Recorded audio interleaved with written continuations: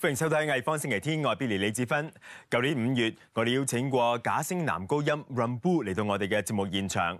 咁当时咧，佢仲系香港演艺学院嘅学生，而家已经毕业啦。今日咧，我哋再次邀请到佢上嚟，讲下佢近期嘅音乐动向。咁第二节咧，大家千祈唔好行开啊！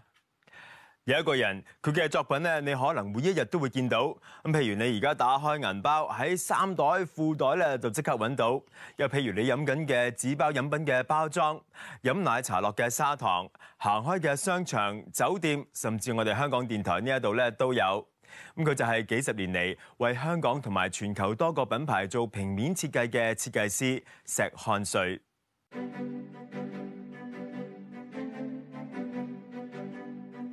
石漢瑞幾十年嚟一直喺香港為商業品牌創造品牌形象，可能唔係個個人都知道佢個名，不過佢嘅平面設計無處不在。今年係石漢瑞九十歲誕辰，亦都係佢嘅設計公司喺香港開業六十週年。佢一直以跨文化傳意嘅能力見稱。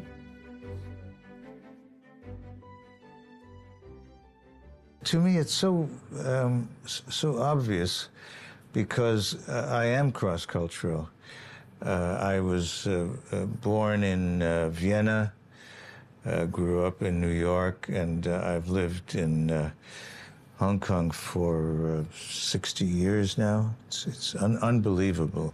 Cross cultural communication, trying to talk to other cultures and do it visually taking away from one culture something that is useful for another one.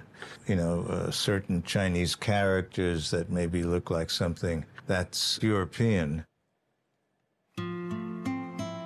石汉瑞一九三四年喺维也纳出生，纳粹德国喺一九三八年吞并奥地利之后，为咗逃避反犹太人情绪，佢同屋企人移居美国。 佢喺亨特學院修讀藝術，之後喺耶魯大學完成平面設計碩士課程，師承當時受人敬重嘅平面設計師兼藝術總監保羅蘭德。I saw an early book by Paul Rand, and it was uh, fascinating. And that's what uh, started me to understand design rather than art. A designer tries to solve uh, his client's problems. Uh, an artist tries to solve his own problems. So, in other words, uh, whatever problems I have, it doesn't matter uh, because I'm working for the client. But if I were a painter, I would be trying to communicate my feelings. That has nothing to do with graphic design. 石漢瑞喺巴黎索邦大學繼續深造，翻到紐約之後，佢接受派遣到亞洲工作，擔任 The Asian Magazine 設計總監。喺一九六一年，憑住一份為期九個月嘅工作合約嚟到香港。This is what I do contrast. You know, so this is a Chinese lady from history, and this is a contemporary Chinese girl, and they go together nicely. And I was uh, asked to do some other jobs, not for the Asia magazine, things like packaging and uh, annual reports and all sorts of things.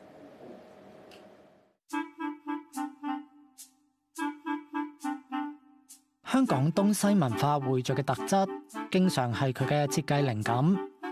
而其中一個體現呢種文化匯聚嘅早期作品，係香港希爾頓酒店嘅標誌，兩個字母 H 嘅設計，令人聯想起中文雙喜嘅喜字。一九六四年，石漢瑞自立門戶，本來九個月嘅合約，就變成佢對香港嘅終生承諾。其中部分嘅香港鈔票都係佢嘅代表作。Well, it's progress. Uh, at the very top is the dragon. At the bottom uh, is the fish. It goes from water to land to the sky. So that each of the animals is part of a hierarchy, which to me was much more interesting than uh, having a guaipo with a blonde hair and a torch or something. You know, that this was Chinese culture, and that's what's excited me.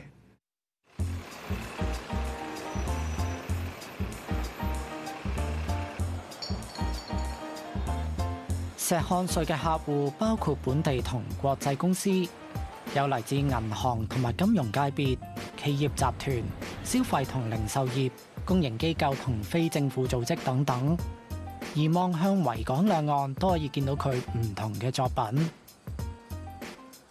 It began with the St. Andrew's flag, which had a two red and two white triangles, and I squared that and then added the two red on the outside so that it made a nice compact uh, logo.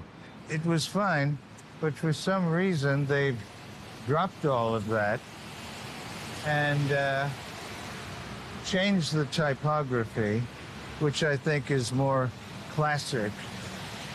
And uh, we now have uh, something like that, which um, I don't agree with it.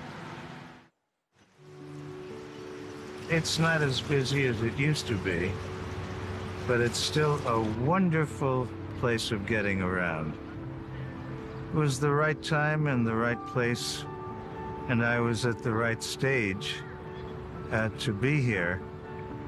I'm very happy with my career. I, I can't think of anything better to say because it's Hong Kong that made me. In some ways, I make Hong Kong too.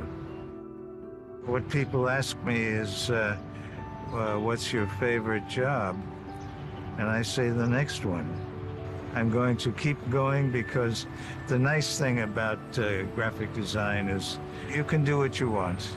I have no complaints. 現時 M Plus 其中一個展覽展出石漢瑞超過二百件自六十年代起嘅創作。展覽分為兩個部分，亦係博物館首次以單一設計師及平面設計作為主題嘅展覽。The first two sections deal with his early life and then the point at which he arrives in Hong Kong. Really, thanks to Henry, he lent us, uh, lent us a lot of his personal artifacts, um, really to show how he became a designer. And it's quite an intimate viewing experience because you're looking at personal photographs, some documentation from his um, student years, and some of the individuals that he encountered. 由二零一六年 M Plus 仲未开馆嘅时候，博物馆就已经同石汉瑞洽谈收藏佢嘅作品。 目前館藏已經涵蓋佢過去三十九個項目。The second two sections, they deal with how Hong Kong's development and Henry's work for his different clients uh, actually run in parallel. So you can almost see a certain kind of history of Hong Kong through a number of Henry's works. We made a selection based on works of Henry's that most people would have encountered in their everyday lives. So you'll see things that probably you would have been able to see in a supermarket, and in particular, the banknotes that he's designed. That uh, actually is a testament to how effective Henry's strategy and his designs have been, that they're still being used today.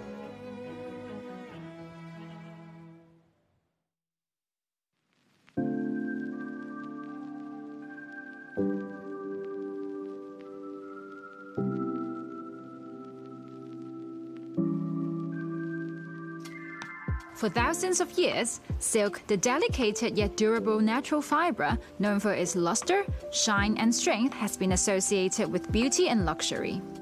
Its origins can be traced back more than 5,000 years to the Neolithic age in China when sericulture, the art of raising silkworms, developed. But it wasn't until about 100 years BCE, before the Common Era, that silk became a significant trading item. Here at the Indra and Harry Banga Gallery at the City University of Hong Kong, you'll have a chance to learn more about silk's 2,000 year journey to the rest of the world in the exhibition A Passion for Silk The Road from China to Europe. Divided into seven sections, the exhibition features around 150 items from China, India, France, and Italy. They illustrate the value, history, and development of silk production and weaving, its interactions with trade, art, fashion, and technology, and the cultural role it played. Among the exhibits are examples of imperial dress from the Tang through to the Qing dynasties.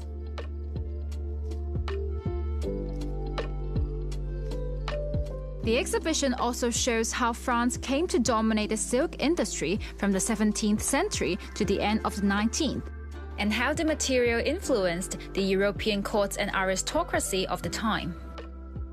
The final section focuses on the industrialization and modernization of silk production. You can catch the exhibition up to 1st September, but don't forget to register online beforehand to arrange a visit.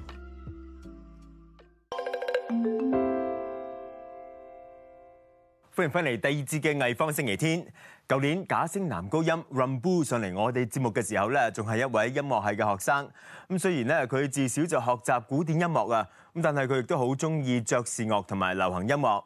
今日 Rumbu 已經係演藝學院嘅畢業生，我哋好開心咧，再次邀請到佢上嚟同我哋傾偈。All right, Rumbu, welcome back to the works. Thank you for inviting. It's been a year since we last saw you, so to begin with, what have you been up to, uh, whether it's musically or in your own personal life? The first thing that I'm going to say is that I graduated. Congratulations. I got my Bachelor of Music uh, in the Hong Kong Academy for Performing Arts. Yeah. right, and then apart from uh, graduating, uh, So I had in my thesis. Yeah. I had my graduation recital. And then since I graduated, I thought it would be amazing to go to some graduation trips with my friends. Yeah, so they were my time. nice, right? So now you've graduated, you're not studying anymore, but you're still writing songs, you're still composing. So uh, let's talk about that a bit. Uh, have you have you released any songs uh, since last year, or have you been working on any songs? I've been working on them. Actually, I've recorded like three singles. Yeah, but I'm hoping to like embellish them or to polish them a bit more before releasing them. Right. Yeah. So Rumbu, I know you've been working on a, a few different songs recently. Uh, one of them, Vitamin M, is in Cantonese. Um, in, in in the past, a lot of your songs were written in English. So how different is it composing or writing using Cantonese? The songs that released it, um, like By the Sea, Do You Understand? I wrote them at the piano. And usually my songwriting process is like some random chords and then the melody. And sometimes um, there comes lyrics on my mind. And usually they're in English. So um, if there are lyrics on my mind, usually they're, they are English songs. But for Vitamin M, I really couldn't figure out the lyrics. So I decided to just write the melodies and then um, try to write a Cantonese song by another artists. Right. And as um, you know, uh, for those who don't know, you're trained as a countertenor uh, in classical uh, sort of singing. Um, in terms of the language itself, is it very different using your skills to sing in English versus Cantonese? Very different. Can you tell us about it? Like in English, I think it's more free. Like you can sing whatever you want, and some like, yeah. But in Cantonese, you have to fit in the uh, vowels and the and the pitch of the word, so you cannot mm, alter too much when you're performing. Right. Like for by the sea, I can sing like, "Oh, by the sea," like a little like a, um, a turn in the in the voice. But for Cantonese, it would be weird. Like yeah, so So the, the, the limitations uh, for Cantonese are a bit more than English. yeah. Okay. Well, um, let's talk a bit about you know your songwriting itself. Uh, what things inspire you these days? You've mentioned you love sitting by the piano and you just love playing. Yeah, So- that's my hobby. Yeah. So tell, tell us a bit more how, how it works for you. You know, how do you write a song? I just sit at the piano and feel by ear and oh, this chord sounds good, and then I just continue. Like I've written something like this. I remember.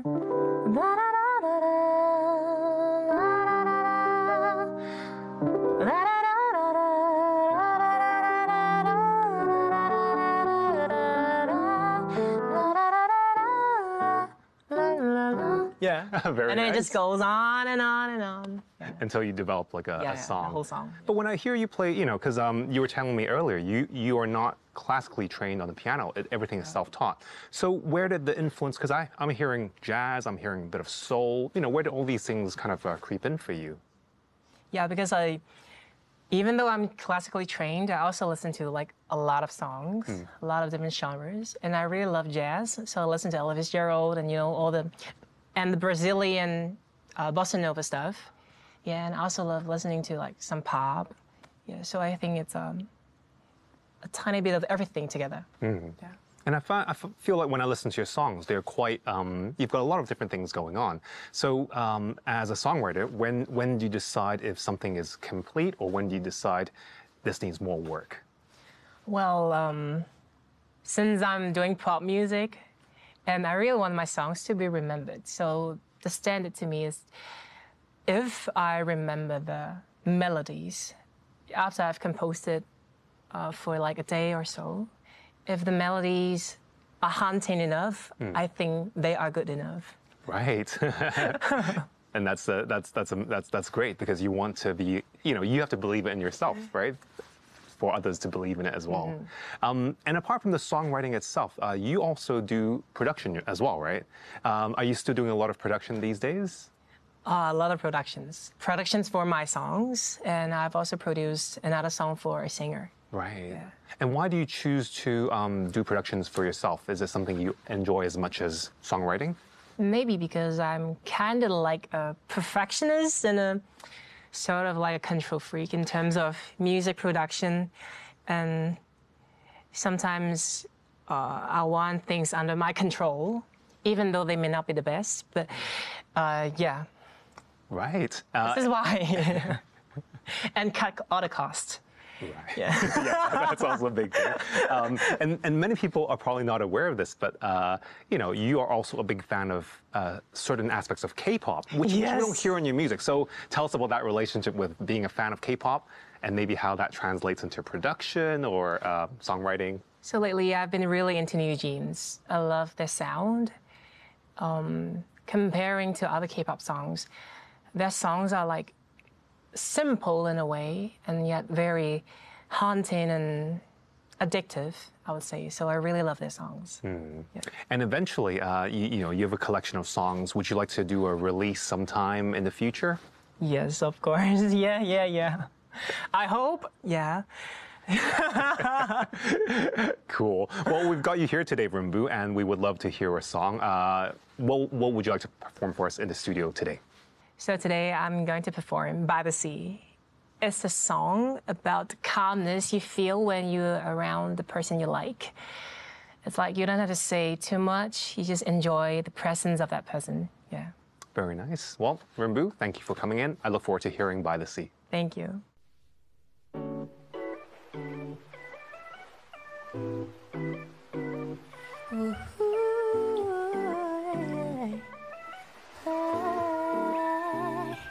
Said you wanna go to the sea to recall some good memories. But let me tell you, my baby, those memories will always be here as long as you stay here with me. And promise you won't be my tea. Tell me something I wanna